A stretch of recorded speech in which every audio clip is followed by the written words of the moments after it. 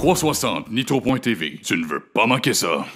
Avec Yann Bussière qui termine en première position dans la finale ici ce soir. Yann, au micro tantôt, Tommy disait que tu avais été dans un voyage de pêche, puis ça t'a permis de peut-être de, de, méditer, de, de, de relaxer là-dessus. Je sais pas si ça a un effet pour vrai, mais baisser le stress des fois d'une saison, peu importe, est-ce que ça, est-ce que ça met les idées claires pour euh, chauffer une voiture? Ben en fait, euh, c'est la même affaire, la passion, la pêche. Euh, moi, moi mon petit gars, on est des vrais fous.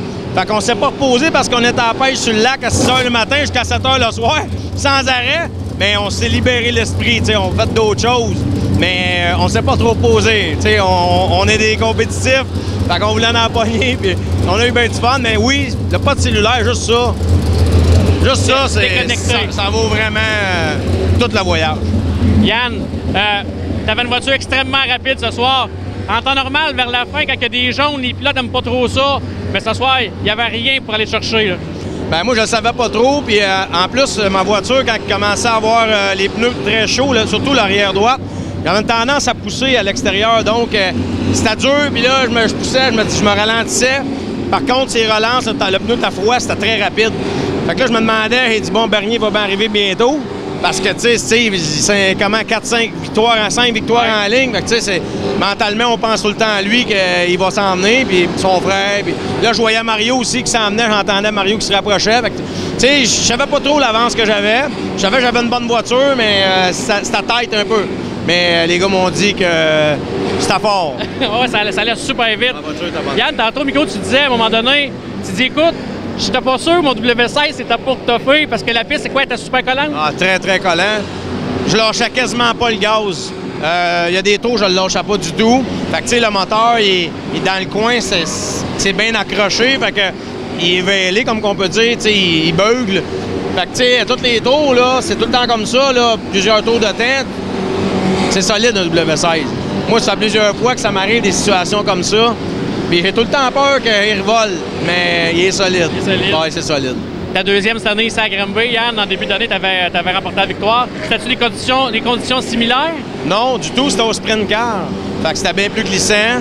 Euh, la voiture était très bonne, il y avait plus de noir. Là, en soir, ça collait vraiment. Euh, il n'y avait aucun sou. La voiture ne euh, perdait pas un tour de roue jamais.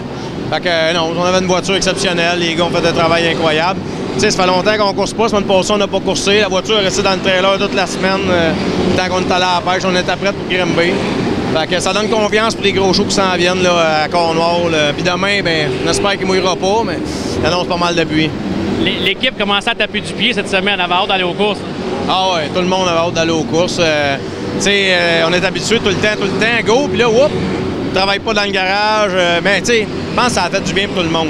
T'as un break déconnecté, puis là, on revient avec une victoire. Ça va donner un gros boost aux gars pour finir la saison parce qu'il en reste encore pas mal. Ben écoute, Yann, ton équipe, t'as une jeune équipe. T'as des vétérans avec toi, une jeune équipe qui font un travail exceptionnel.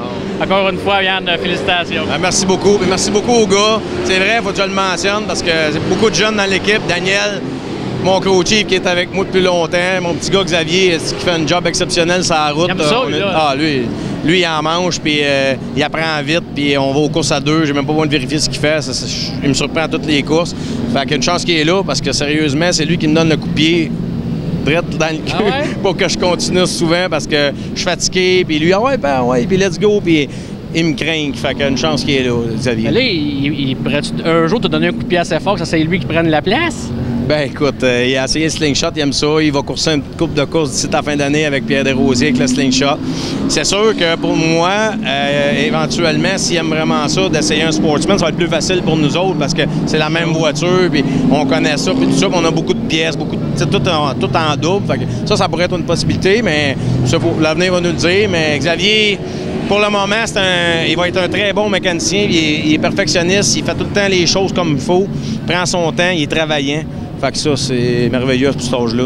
Je suis pas inquiet, ça fait une, une team de feu. Ouais, voilà. hey, merci Yann, félicitations encore. Merci. merci Yann.